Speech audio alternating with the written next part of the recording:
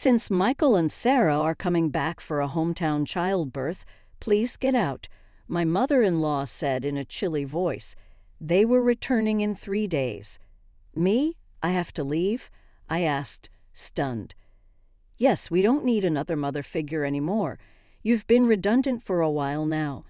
Michael and his family will be living here, so make sure you're out by tomorrow, she continued. I always knew I wasn't truly accepted as part of the family. Since the day I got married, I'd only been seen as a wife. Never did I imagine they would tell me to leave after all these years. You barren failure. You are allowed to experience raising a child. You should be grateful. We have no obligation to support you anymore. It seems like Simon is tired of you, too. What? Simon, too. I gulped, feeling the shock set in.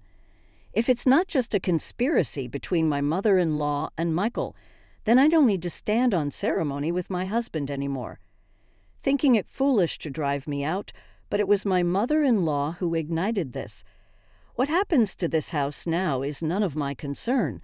May they face the reality they have ignored squarely and personally. I'm Anna Thompson, 45 years old, living with my husband and mother in law in a popular area close to the station. The access to the city center is superb when we were house hunting, my husband, who had just been promoted to a managerial position, was particularly picky. The rent was steep, but the space and number of rooms made it worth the stretch. My husband, Simon, eight years my senior, a divorcee I met through a friend's introduction. I was comforted by the enveloping kindness unique to an older man, and after two years of dating, we decided to get married. Even when I told him about my infertility due to past illness, my husband's affection did not waver. Likewise, my feelings remained unchanged when I learned of the circumstances he carried. My husband had a son named Michael from his previous marriage. I'm truly sorry to ask you, who have never been married before, to live with my parents and son.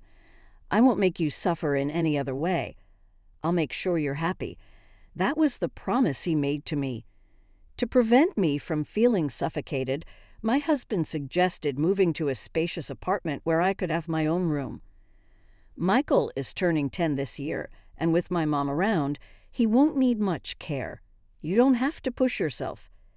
After his divorce, my husband had been getting help with child care from his parents at their home. A few years later, Simon's father passed away in an accident, and it seems his mother took over as Michael's caretaker. From the first meeting, Michael wouldn't even make eye contact with me. I thought it might be his shy nature and that he was approaching a difficult age, so I didn't worry about it. As long as they accepted me as a member of the household, I was content. My mother in law was a quiet and refined person. When I visited to formally introduce myself after our engagement, she treated me with such politeness that I thought we would get along fine living together. I'll continue to prepare the meals as I have been. Simon comes home late, so it's okay if we eat at different times, right, Anna? I'll leave the cleaning and laundry to you. All right, let's work well together. After getting married, I switched from being a full time employee at the pharmacy to a full time part timer because of the division of household chores. I started work a bit later in the morning, so I wouldn't get home until nearly 8 o'clock p.m. But dinner was always ready when I arrived. This was one thing that made me feel good about living together. My mother in law and Michael usually had dinner before I got home, so I was always eating alone. Even after getting married, I sometimes felt a sense of isolation, but I came to accept that this was our family style. However, from the beginning, my mother in law never really liked me and didn't consider me part of the family at all. Michael, the school's activity day is before summer, right? When is it? We're all going to see you. Some time after getting married, I tried to break the ice with Michael, who still hadn't warmed up to me. No, I mean, as Michael faltered, my mother in law interjected, We'll go there, just Simon and me. Anna, you don't need to worry about it. I misunderstood her words, thinking she was just being considerate. I can get the day off work. Let's all go together. You don't need that. You're Simon's wife, and Michael's family has always been just Simon and me. I was lightly, no, quite shocked. When I brought it up with my husband at night, he said, Mom's been clinging to Michael. She probably thinks you're trying to take him away. I'll talk to her. Eventually, I began to join as a mother at the activity day, but Michael and I rarely spent any time together outside of school events. Sometimes I could tell Michael wanted to say something, but my mother in law always cut in between us. I later found out that she had been bad mouthing me to Michael. Anna said she could be happy with Simon if Michael weren't around. She's a terrible person. Dad must be deceived by her, too. If a boy in his formative years hears such things, it wouldn't be strange for him to distrust me. It was a sickening story, but at that time I hadn't imagined that my mother in law could do such a thing.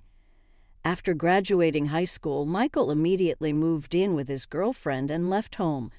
As soon as he started college, a year after, he started working. He married her without a ceremony. Once Michael moved out, my mother in law surprisingly stopped doing housework altogether. Instead, it seemed that picking on me had become her sole entertainment. She stopped cooking, which she used to do before, and now just sits at the dining table waiting for me to come home. Without a moment to sit down, I would stand in the kitchen and prepare dinner. You're really inefficient. At this rate, it'll take you all night. I was never good at cooking, partly because I had always relied on my mother in law to prepare the meals. Whenever I did manage to cook, she would taste each dish and invariably complain. This tastes awful. I'm sorry, I'm trying my best. You're astonishingly tone deaf when it comes to flavors, Anna. It's a good thing Michael never had to eat this. How terrible. If she thought so, she might as well make it herself but it seemed she just wanted to complain to me, not just about the meals, but she started nitpicking everything from the cleaning I never used to do to the laundry. Why are there so many wrinkles on the laundry? You have to vacuum every nook and cranny. You really can't do anything right. Didn't your family teach you anything? With that, my mother in law sighed while looking at me. Being belittled even about my family, I clenched my fists in frustration. I don't know how you won over Simon, but I can't see much charm in you as a woman.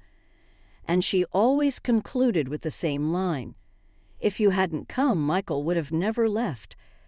I understood that there was a gaping hole in her heart since Michael had left. Maybe it was what they call empty nest syndrome. If taking it out on me made her feel better, that's what I told myself to endure it. But her bullying took on new energy after a certain event. That event was the pregnancy announcement from Michael's wife, Sarah. The joy my mother in law exhibited was unlike anything I had seen before. It's Michael's baby. It's bound to be adorable. Yeah, it'll be my first grandchild. Watching the two of them rejoice, I was happy too, but my mother in law's excitement was beyond normal. Probably because Michael asked her grandma, Can Sarah have our baby at your place? Sarah's family home is an hour away by plane, and since they have no one else to rely on here, they turn to us for help. Of course, my mother in law wouldn't dream of turning down Michael's request. The phone calls from Michael started to become frequent, and her excitement went through the roof. The next day after getting the news, she started preparing enthusiastically, from cleaning out Michael's room to preparing the bedding and making a list of baby items. It was like she had great grandchild fever. Naturally, I had to get involved too. When I returned from work, Anna, I vacuumed Michael's room, so you need to wipe the floors and the windows, and please wax them too. This weekend, we're going to the department store to look at baby cribs. Cleaning and waxing at night was tough, especially after a long day at work. If I even thought about cutting corners, I'd be told to do it over again. Moreover, my mother in law started asking for money, and before I knew it, the house was overflowing with baby stuff. Anna, I need you to withdraw some money tomorrow. There are things I want to get ready for the baby. Again, Isn't it wasteful to prepare so much when Sarah and Michael haven't even arrived? Shouldn't we wait and choose together with them? I had wanted to meet my mother in law's requests, but I was troubled by the relentless spending. How can you be so cold? It's Simon's grandchild. Oh, that's right, you're not related to Michael by blood. You don't care, do you? That's not true. Please don't say that. I just thought Sarah might want to pick things out herself. Wouldn't you want to choose things for your own child? Perhaps because I was making a valid point, my mother in law glared at me sharply. I instantly regretted my words, but it was too late. My mother in law walked back to her room, clearly upset. I thought about it, stunned by how she had talked about me and Michael. The next morning, she didn't leave her room, likely still angry. Simon had a three day business trip starting that day. As he left, he called through her door, I'm leaving. Please don't dash Mom's hopes for a great grandchild. She hasn't been the same since Michael left. You were worried too, right? I was worried, but if we keep spending like this, we'll have nothing left when Michael and Sarah arrive, right? Simon's face immediately turned sour. Are you saying my earnings are too low? That's not what I'm saying at all.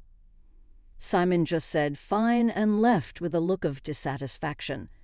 Discussions about money always end up like this. Since I'm the one managing our finances, I can't help but think ahead. Of course, there's a reason for that. We've been married for 13 years. Simon has provided me with a very comfortable life. Your part time income is for you to enjoy. Simon had always told me so. I saved everything beyond what I needed for myself. Even though it's in my name, I consider it our shared property. But then Simon's company's performance declined, and over the last five years, his salary has dropped to two thirds of what it was when we first got married. While there's uncertainty whether his company will last until his retirement, he doesn't seem to consider changing jobs. For appearances in front of my mother in law, my husband couldn't give up his title as a department head. Now I'm the one paying the rent and he covers the living expenses. We've kept this from my mother in law to save my husband's face. That day, I left work a bit early to apologize to my mother in law. When I got home, she was already sitting at the dining table waiting for me. I'm sorry about yesterday. I went too far, I said. But my mother in law didn't respond. Instead, she blindsided me with something else. Since Michael and Sarah are coming back for a hometown childbirth, please get out. My mother in law stated in a chilly voice. The return of the eldest son and his wife was scheduled in three days. Me, I have to leave? I asked, confused and stunned. Yes, we don't need another mother figure anymore. You've been redundant for a while now. Michael and his family will be living here, so make sure you're out by tomorrow, she continued. I knew I was never truly accepted as part of the family. Since the day I got married, I've been treated as a wife thus far. I should have suspected something when Michael was coming back for the birth. You barren failure. You were allowed to experience raising a child. You should be grateful.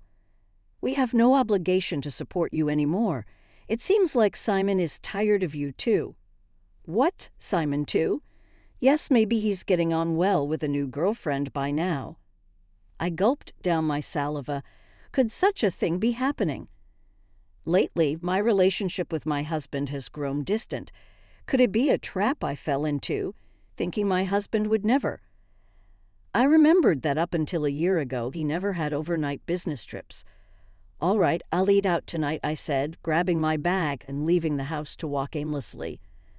I needed to calm my severely shaken heart, worried about my husband. As I walked, I tried calling my husband's cell phone. Despite what my mother in law had said, I still wanted to talk to him. But he didn't answer, no matter how many times I rang. So I called his office and was told he had taken a couple of days off. My mother in law's words started to seem more credible. Could he really be on a trip with another woman? Bad thoughts began to crowd my mind, and I was overwhelmed with emotion, tears streaming down my face. Staggering along, I noticed the tavern behind the station. It was a place we used to go to often when we first moved here. It's still here. I thought as I went inside. Welcome. The tavern owner's expression clouded for a moment when he saw me, then he nodded slightly in recognition. Did he remember me? Hey, long time no see. It's been about eight years. I used to come here a lot with my husband. Yes, it's been a while. I remember you. I couldn't help but smile, feeling a sense of relief wash over me. Can I get a beer and a mixed plate of grilled chicken, please? Sure. The owner was always a man of few words, and that hadn't changed. I took out my cell phone and the screensaver lit up. It was a photo of us when Michael turned 18 looking sharp in the slim suit we had picked out together. I really wanted us to be closer as a family. As I looked on, a waitress brought over the beer and grilled chicken. The cold beer washed down my throat, and it felt like it took the day's fatigue with it. Can I really move out tomorrow? Searching for moving companies that could do the job the next day, I found one. I also looked up junk buyers and saved two companies in my favorites Changing the screensaver on my phone seemed to clear my head completely. The beer and the grilled chicken tasted exceptional. I decided to think about everything once I got home. As I started walking away from the tavern, I was called from behind. Turning around, a young waitress from the tavern was running towards me. Excuse me, are you Mrs. Thompson? I couldn't help but notice the screensaver on your phone. Huh, Yes, that's me. I responded, wondering if there really were such things as divine interventions. Your husband, he's having an affair with one of our employees. Her youthful sense of justice was apparent. So that was the look on the owner's face. My husband was still coming to the tavern, involved with a long-time part-time female worker. When there aren't many customers, they talk the whole time and leave together after closing. They're always all over each other. It's really gross. I couldn't help but give a wry smile at her frankness. We exchanged contact information. I'll let you know if anything happens, she said, which felt reassuring to me who had no allies. My mother in law's words were true. Maybe because my head had cleared instead of sadness I felt a rising anger within me. Might as well go all out and finish this. I booked an appointment with one of the moving companies I had saved earlier. If it wasn't just a conspiracy between my mother in law and Michael, then I suppose I no longer need to honor my husband. I thought it foolish to be driven out, but it was my mother in law who had sparked this. Whatever becomes of this house now is not my concern. When I got home, I packed my belongings until midnight. I was without hesitation. The moving company I had booked for exactly 2 o'clock p.m. arrived on time. As you asked, I'm moving out today. The movers are coming, so I'll take everything I bought with me. I wish you could erase even the trace that you were here. As she wished, I cleared out all the furniture and appliances everything I had paid for with my part time job money, besides the rent and living expenses. Watching the procession of my belongings being taken out, my mother in law started to panic. Wait, Anna, what are you doing? If you take all this, how will we live? To leave no trace behind, I'm taking everything I bought. You can start a completely new life tomorrow. Suppressing a laugh, I ignored her protests and had everything taken out. She complained loudly to the movers, but there was nothing she could do. All that was left in the house were the piles of baby gear and her old dresser from before the marriage. Well, then, I bid you farewell. There should be no trace of me left, so enjoy your life with Simon, Michael, and his family. Leaving her sitting there stunned, I placed the keys on the table and left the room. I had the movers hold on to my things for a while and I decided to stay with a single colleague for some time. Feeling a sense of completion, I slept soundly that night. It was a week later when I finally heard from my husband. I wonder if he was scheming with that other woman. While my husband was dragging his feet, I got a call from the young woman at the tavern. Got a good shot, so I'll send it to you. In it, there was my husband chatting up a not so young woman at the place. Maybe out of a sense of justice, the young woman must have followed them after they closed. There was also a photo attached of the two entering a hotel. Even in such times, the cheating continues, I thought, and any last bit of affection I had for my husband dissipated. I asked for the woman's name and to have her address looked up. The next day, after I had all the evidence of the affair, my husband called. Anna, where are you? Michael and his family are here too. Aren't you going to come home soon? No, I'm not coming back. Your mom told me to leave. I'm done here. Michael and his family are going to live with you now, right? I knew it. Michael and his family were out of money and looking to crash at our place. I heard that after graduating from a vocational school, they've been hopping from job to job, and now they're working part time. No, I want you back, Anna. I went to the pharmacy and they said you're off for a bit. Got a place to crash. Yeah, I'm fine, so don't worry about me. Your mom and Michael didn't like me, right? I reckon they're happy to have the place to themselves without me around. My snide comment left my husband speechless. He knew his mother and Michael never accepted me as family, but pretended not to see it. Well, all right, I have something to say, so I'll come back there once. Yes, for the sake of my future, I need to finish this last chapter. My husband replied with a relieved plea in his voice. And then, days later, I went back to the house for the first time in a long while. There were some new pieces of furniture and appliances inside. When Michael and Sarah saw me, they just nodded from their seats on the sofa without getting up. As I took a seat, my mother in law glared at me with a scary look on her face. The atmosphere was tense. Just as I thought to get things done and leave quickly, Michael spoke up. What are you doing here? You took everything from the house. What kind of monster does that? Dad's been supporting you, and you've had it easy. I sighed. I took everything because I paid for it. I wanted to remove all traces of me, just as you wanted, right? But that's crazy, right?